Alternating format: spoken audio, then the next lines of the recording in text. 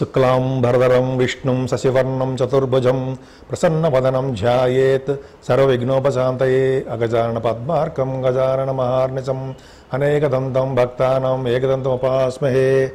అందరికీ నమస్కారం అండి. మమ్మల్ని ఇంతలా ఆదరిస్తున్నటువంటి మీరందరికీ నమస్కారాలండి. చాలామంది చాలా విధాలుగా క్వశ్చన్లు అడుగుతూ ఉంటారు. అంటే నాకు పెళ్ళి ఎప్పుడు అవుతుంది ఉద్యోగం ఎప్పుడు వస్తుంది పిల్లలు ఎప్పుడు పుడతారు? ఇవన్నీ చాలామంది అడుగుతున్నారండి. జనరల్గా ఏంటంటే మనం ఈ గోచారం ప్రకారం మనం జాతకాలు చెప్తూ ఉంటాం. కానీ ప్రతి వాళ్ళ జాతకంలో కూడా date of birth time place of birth important అండి. ప్రతి వాళ్ళు వ్యక్తిగతంగా జాతకాలు తెలుసుకోవాలంటే ప్రతి వాళ్ళు కూడా డేట్ ఆఫ్ బర్త్ ఉండాలి టైము అలాగే వాళ్ళు ఎక్కడ పుట్టారో అవి తెలియాలి. అలా తెలియడం వల్ల వాళ్ళ వాళ్ళ వ్యక్తిగత జాతకాల్లో లగ్న బలం ఎలా ఉంది అలా జరుగుతున్న దశలు ఏంటి అలాగే గోచారంలో ఎలా ఉన్నారు నవాంశలు ఎలా ఉన్నారు ఇవన్నీ జాతకాలను చూసి మాత్రమే మీ యొక్క క్వశ్చన్లకి ఆన్సర్లు చెప్పగలమండి కానీ ఈ వ్యక్తిగత జాతకాలు చాలా ఇంపార్టెంట్. కాబట్టి మీరు మీ వ్యక్తిగత జాతకాలు చూపించుకోదలుచుకుంటే మీరు ఈ కింద స్క్రోల్ అవుతున్నటువంటి నంబర్కి ఫోన్ చేస్తే మేము చక్కటి పరిష్కార మార్గాలు సూచిస్తామండి మేము. ఇప్పుడు మనం జూలై నెలలో రాబోతున్నటువంటి ప్రత్యేకమైన రోజుల గురించి తెలుసుకుందామండి. అందులో ఒకటి ముఖ్యమైనది పూరి జగన్నాథ రథయాత్ర. తర్వాత ఇప్పుడు ఇప్పుడు మనకి ఉత్తరాయణ పుణ్యకాలం అయిపోయి దక్షిణాయ పుణ్యకాలం స్టార్ట్ అవుతుందండి. అది ఒక దాని గురించి తెలుసుకోవాలి. అలాగే మనకి తొలి ఏకాదశి అని ఉంది. ఆ తొలి ఏకాదశి గురించి అలాగే నాలుగవది వ్యాస పౌర్ణమి గురించి తెలుసుకుందాం. ఆ రోజుల్లో ఏ పూజలు చేయాలి ఏ దానాలు చేయాలి ఎలా చేస్తే మనకి అభివృద్ధి కలుగుతుంది అనేది వాటి గురించి ఇప్పుడు మనం తెలుసుకుందాం. ఈ నెల పదహారో తారీఖుని ఈ నెల అంటే జూలై నెల పదహారో తారీఖుని మనకి దక్షిణాయన పుణ్యకాలం స్టార్ట్ అవుతోంది. అంటే దక్షిణాయనం అంటే ఏంటంటే సూర్య భగవానుడు భూమధ్య రేఖకి ఉత్తరం వైపు గమనం ఉంటే అంటే ఉత్తరం వైపు ప్రయాణిస్తుంటే ఉత్తరాయణం అని భూమధ్య రేఖకి సూర్య భగవానుడికి గమనం దక్షిణ వైపు ప్రయాణిస్తుంటే దక్షిణాయనం అని మనం అంటూ ఉంటాం. ఒక సంవత్సరంలో ఆరు నెలలు ఉత్తరాయణం అని తర్వాత ఆరు నెలలు దక్షిణాయనం అని అంటాం మనం.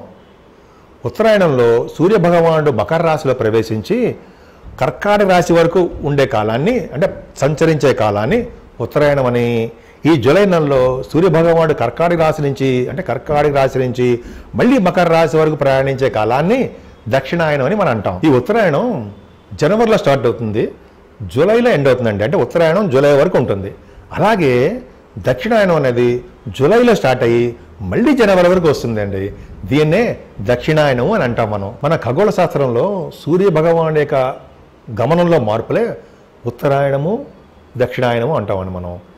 ఈ సూర్య భగవానుడు దక్షిణం వైపు పయనిస్తుంటాడు కాబట్టి మనం దక్షిణాయనము అంటాం. ఆయనం అంటే ఏంటి? ప్రయాణం చేయడం. సపోజ్ మన సూర్య భగవానుడు ఈశాన్యంలో ఉదయించే కాలాన్ని ఉత్తరాయణమని అలాగే ఆగ్నేయ భాగంలో ఉదయించేదాన్ని దాన్ని దక్షిణాయనమని అంటామని మనం. అంటే ఈ సూర్య భగవానుడు భూమధ్య రేఖకి దక్షిణ దిశగా ప్రయాణం చేస్తూ ఉంటాడు. దీన్నే దక్షిణాయనం అని అంటాం మనం. ఆధ్యాత్మికంగా చూస్తే మనకి ఉత్తరాయణం దేవతలకు ఒక పగలండి. అలాగే దక్షిణాయనం దేవతలకు ఒక రాత్రి. అంటే మన సంవత్సరంలో మనకు ఒక సంవత్సరం అయితే దేవతలకు ఒక రోజు కింద వస్తుంది. అలాగే ఈ నెల పదహారో తారీఖుని దక్షిణాయనం మొదలవుతోంది. ఈ దక్షిణాయన కాలంలో జపాలు దానాలు స్నానాలు ఎవరు చేస్తారో వారికి అత్యంత పుణ్యఫలం వస్తుందని మన శాస్త్రాల్లో చెప్పబడింది. ఈ మాసంలోనండి శ్రీ మహావిష్ణువు యోగ నదిలోకి వెళ్తాడు. మానవుల ఎదుగుదలకి భక్తి కూడా అవసరం. అందుకనే ఈ కాలంలో చాలామంది ఉపవాసాలు కూడా ఉంటారు. శ్రీ మహావిష్ణువు ఈ ఆషాఢ మాసంలో ఉన్నటువంటి శుద్ధ ఏకాదశిలో రోజునే యోగ నదుల్లోకి వెళ్ళి మళ్ళీ కార్తీక మాసంలో శుద్ధ ఏకాదశి రోజు ఉత్తాన ఏకాదశి రోజు ఆయన యోగ నిద్ర నుంచి మేల్కొంటాడు. దీన్నే చాతుర్మాస దీక్షలు అంటారండి. ఈ నాలుగు నెలలనే చాతుర్మాసము అంటారు.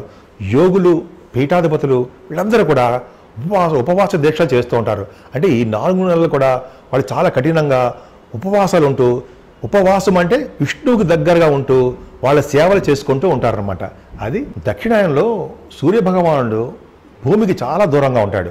దానివల్ల ఏమవుతుందంటే సూర్యుని యొక్క కాంతి భూమి మీద పడడం భూమి మీద పడడం చాలా తక్కువగా ఉంటుంది.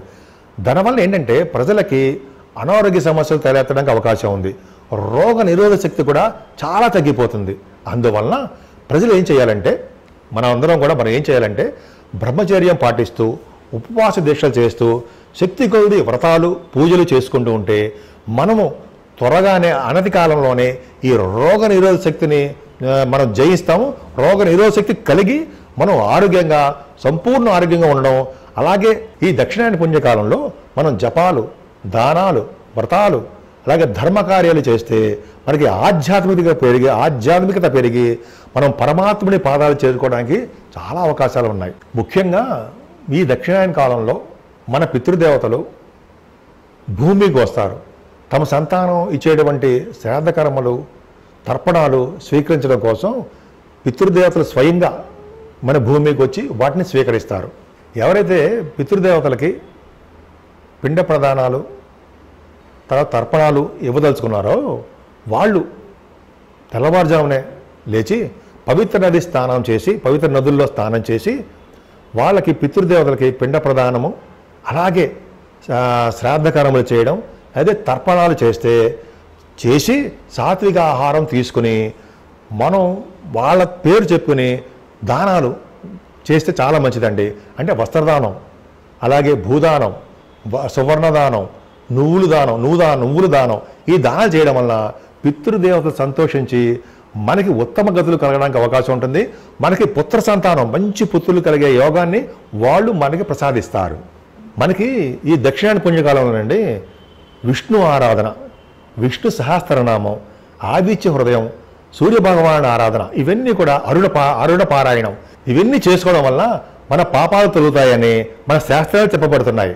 ఈ విధంగా ఈ దక్షిణాయన పుణ్యకాలాన్ని చాలా పవిత్రంగా ఉండడం వల్ల మీరందరూ ఈ అవకాశాన్ని మీరు ఉపయోగించుకుంటారని నేను మనసారా కోరుకుంటున్నాను.